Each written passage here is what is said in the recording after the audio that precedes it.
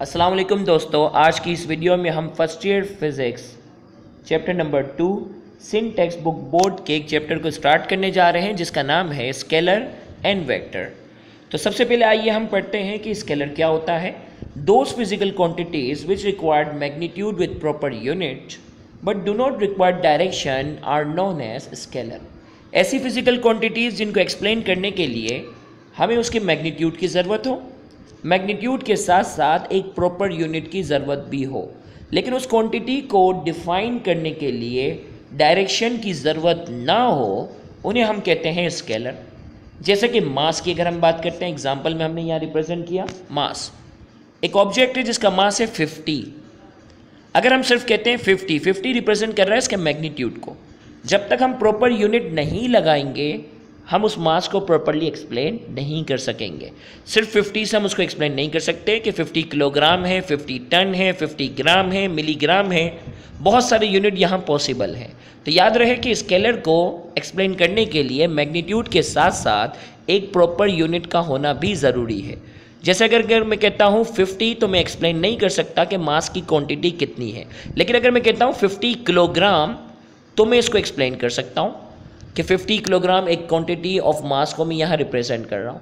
लेकिन मास को एक्सप्लेन करने के लिए हमें डायरेक्शन की ज़रूरत नहीं है, क्योंकि मास जो है वो क्या है? स्केलर क्वांटिटी है। लिहाजा 50 किलोग्राम कह देना काफ़ी है। इस इस क्वांटिटी को एक्सप्लेन करने के लिए डायरेक्शन की ज़रूरत नहीं है। तो स्केलर हमारे पास वो तमाम क्वांटिटीज़ होती हैं जिनको एक्सप्लेन करने के लिए हमें मैग्नीट्यूड की ज़रूरत होती है।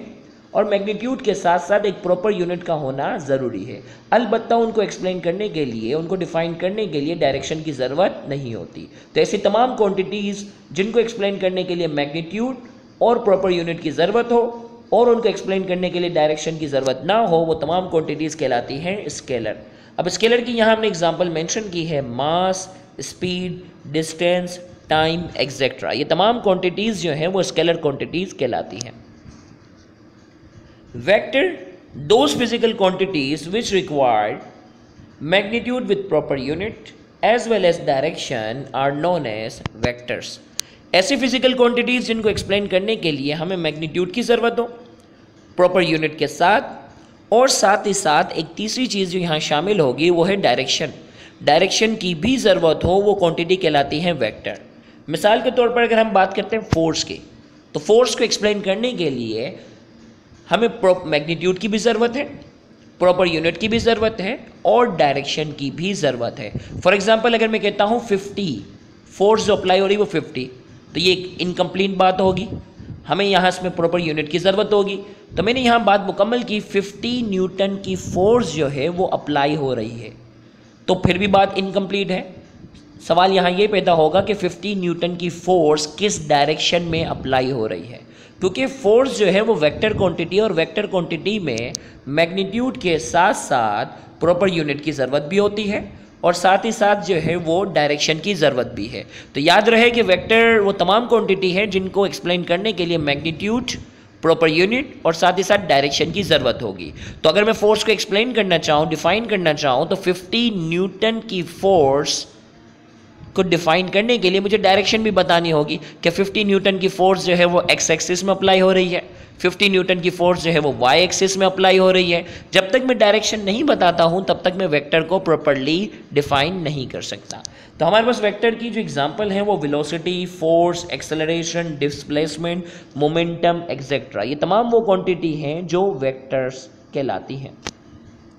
वेक्टर को रिप्रेजेंट करने के लिए हमें कोई भी अल्फ़ाबेट का इस्तेमाल करना होता है और साथ ही साथ इसके ऊपर एरो हम लगा देते हैं। एरो इंडिकेट कर रहा होता है कि ये एक वेक्टर क्वांटिटी है। लेकिन कभी कभार कुछ मकाम पर हम वेक्टर की डायरेक्शन को शो नहीं कर रहे होते, हम सिर्फ़ उसके मैग्नीट्यूड को डिस्कस कर रहे होते हैं। ड्यूरिंग द कैलकुलेशन तो हमें उस कंडीशन में सिंपल अल्फ़ाबेट इस्तेमाल करना है। जैसे अगर मैं फोर्स को जो है, वो सिंबल यहाँ एफ़ लिख रहा हूँ और उसके साथ एरो लिख रहा हूँ। उसका मतलब मैं यहाँ फोर्स के साथ साथ उसकी डायरेक्शन को भी शो कर रहा हूँ। लेकिन अगर मैं इसी फोर्स को सिर्फ़ अगर एफ़ लिख रहा हूँ तो इसका मतलब मैं सिर्फ़ फोर्स के मैग्नीट्यूड को यहाँ डिस्कस कर रहा हूँ। फोर्स की डायरेक्शन को डिस्कस नहीं कर रहा। तो याद रहे कि वेक्टर को रिप्रेजेंट करने का तरीका है कि अल्फ़ाबेट के साथ ऊपर एरो का इस्तेमाल किया जाए। और इसके मैग्नीट्यूड को अगर डिस्कस करना है तो सिंपल अल्फ़ाबेट का इस्तेमाल किया जाए एरो ना लगाया जाए। अगर आपको हमारी ये वीडियो समझ में आई है तो आप हमारे इस चैनल को सब्सक्राइब करना मत भूलिएगा, जो कि सिंध बोर्ड टीचिंग के नाम से है। याद रहे, सब्सक्राइब करने के बाद बेल आइकन को क्लिक करने से हमारी अपलोड करता तमाम वीडियो की नोटिफिकेशन आपको रिसीव होंगी। याद रहे, लेक्चर नंबर टू में हम इसी वेक्टर स्केलर के चैप्टर को हम कंटिन्यू करने जा रहे हैं, जिसमें हम यूनिट वेक्टर को एक्सप्लेन करने जाएँगे। तो उसको मिस मत कीजिएगा। थैंक यू वेरी मच अल्लाह हाफिज़।